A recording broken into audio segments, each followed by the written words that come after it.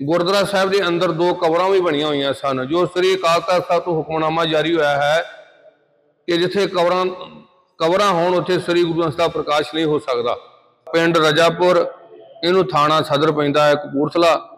ਇਸ ਪਿੰਡ ਵਿੱਚ ਇੱਕ ਗੁਰਦੁਆਰਾ ਸਾਹਿਬ ਜੋ ਜਥੇਦਾਰ ਮਲਕੀਤ ਸਿੰਘ ਹੋਣਾ ਨੇ ਤਿਆਰ ਕੀਤਾ ਸੀ, ਜਿਨ੍ਹਾਂ ਦਾ ਸਰੀਰ ਕਿਸੇ ਬਿਮਾਰੀ ਕਾਰਨ ਬਹੁਤ ਬਿਰਧ ਹੋ ਚੁੱਕਾ ਸੀ, ਇੱਕ ਪੈਰ ਵੀ ਉਹਨਾਂ ਦਾ ਕੱਟਿਆ ਹੋਇਆ ਸੀ। ਜਦੋਂ ਅਸੀਂ ਉਹਨਾਂ ਨਾਲ ਜਾ ਕੇ ਸਤਿਗੁਰੂ ਗੁਰੂ ਗ੍ਰੰਥ ਸਾਹਿਬ ਜੀ ਦੇ ਦਰਸ਼ਨ ਕੀਤੇ, ਗੁਰਦੁਆਰਾ ਸਾਹਿਬ ਦੇ ਅੰਦਰ ਦੋ ਕਬਰਾਂ ਵੀ ਬਣੀਆਂ ਹੋਈਆਂ ਸਨ, ਜੋ ਸ੍ਰੀ ਅਕਾਲ ਤਖਤ ਸਾਹਿਬ ਤੋਂ ਹੁਕਮਨਾਮਾ ਜਾਰੀ ਹੋਇਆ ਹੈ ਕਿ ਜਿੱਥੇ ਕਬਰਾਂ ਕਬਰਾਂ ਹੋਣ, ਉੱਥੇ ਸ੍ਰੀ ਗੁਰੂ ਗ੍ਰੰਥ ਸਾਹਿਬ ਪ੍ਰਕਾਸ਼ ਨਹੀਂ ਹੋ ਸਕਦਾ। ਪਰ ਜਥੇਦਾਰ ਮਲਕੀਤ ਸਿੰਘ ਜੀ ਜਿਹੜੇ ਉੱਥੇ ਸੇਵਾ ਕਰਦੇ ਰਹੇ, ਉਹਨਾਂ ਨੇ ਸਹਿਮਤੀ ਸਾਰੇ ਪਰਿਵਾਰ ਨੇ ਪ੍ਰਗਟਾ ਦਿੱਤੀ ਕਿ ਸ੍ਰੀ ਗੁਰੂ ਗ੍ਰੰਥ ਸਾਹਿਬ ਜੀ ਸੱਚੀ ਗੱਲ ਸੇਵਾ ਨਹੀਂ ਹੋ ਰਹੀ। ਅਸੀਂ ਸ੍ਰੀ ਗੁਰੂ ਗ੍ਰੰਥ ਸਾਹਿਬ ਜੀ, ਪਾਲਕੀ ਸਾਹਿਬ ਜੀ ਸੁਭਾਏਮਾਨ ਕਰਕੇ ਗੁਰਦੁਆਰਾ ਟਾਲੀ ਸਾਹਿਬ ਵਿਖੇ ਸੁਭਾਏਮਾਨ ਕਰ ਦਿੱਤੇ ਨੇ।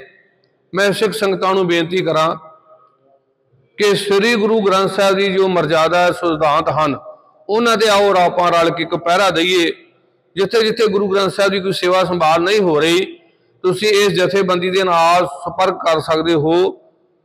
ਜਿਹਦੇ ਨਾਲ ਅਸੀਂ ਉਹਨਾਂ ਦਾ ਨਾਮ ਗੁਪਤ ਵੀ ਰੱਖਦੇ ਹਾਂ। ਬਹੁਤ ਕਈਆਂ ਘਰਾਂ ਤੋਂ ਸਿਆਂ ਵੀ ਸਾਨੂੰ ਆ ਰਹੇ ਨੇ ਕਿ ਘਰ ਵਿੱਚ ਗੁਰੂ ਗ੍ਰੰਥ ਸਾਹਿਬ ਪ੍ਰਕਾਸ਼ ਕਰਕੇ ਉਹਨਾਂ ਦੇ ਘਰਾਂ ਵਿੱਚ ਮਨਮਤ ਹੋ ਰਹੀ ਹੈ, ਸ਼ਰਾਬ ਚੱਲ ਰਹੀ ਹੈ, ਮੀਟ ਚੱਲ ਰਿਹਾ ਹੈ।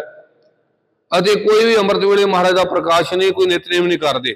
ਮੈਂ ਸਾਰੀਆਂ ਸੰਗਤਾਂ ਨੂੰ ਬੇਨਤੀ ਕਰਦਾ ਹਾਂ ਕਿ ਇਹ ਜਥੇ ਦਾ ਸੰਯੋਗ ਦਿਓ ਤੇ ਸੰਯੋਗ ਲਿਓ ਤੇ ਅਸੀਂ ਵੱਧ ਚੜ ਕੇ ਸਤਿਗੁਰਾਂ ਦਾ ਸਤਿਕਾਰ ਕਰਤੇ ਕਰ ਸਕੀਏ।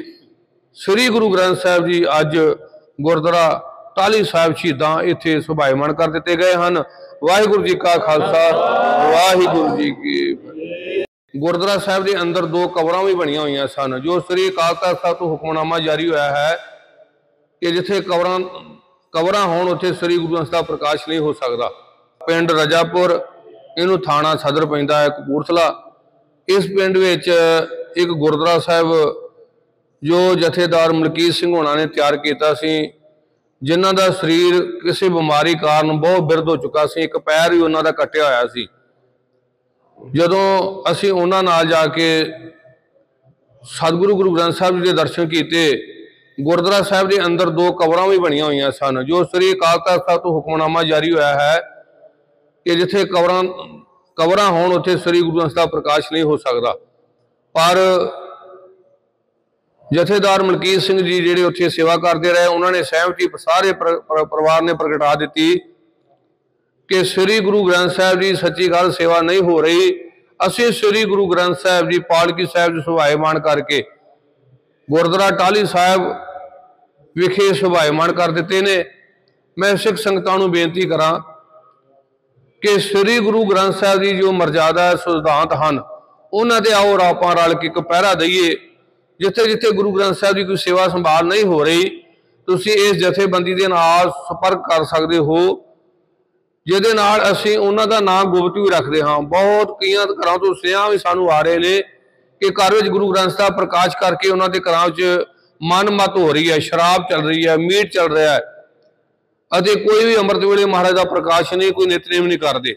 ਮੈਂ ਸਾਰੀਆਂ ਸੰਗਤਾਂ ਨੂੰ ਬੇਨਤੀ ਕਰਦਾ ਹਾਂ ਕਿ ਇਹ ਜਥੇ ਦਾ ਸੰਯੋਗ ਦਿਓ, ਤੇ ਸੰਯੋਗ ਲਿਓ ਤੇ ਅਸੀਂ ਵੱਧ ਚੜ ਕੇ ਸਤਿਗੁਰਾਂ ਦਾ ਸਤਿਕਾਰ ਕਰਤੇ ਕਰ ਸਕੀਏ।